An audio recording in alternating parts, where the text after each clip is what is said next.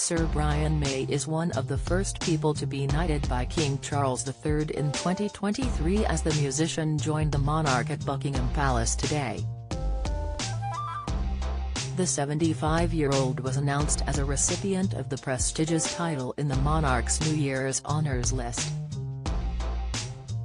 The guitarist, astrophysicist, philanthropist and activist received the honour for his services to music and charity.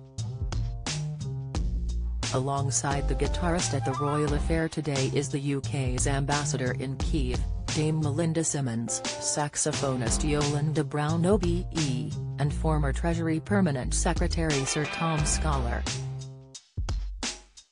Sir Brian, who was accompanied by his wife Anita Dobson at the palace, was originally awarded a CBE for his services to music and charity in 2005 by the late Queen Elizabeth II.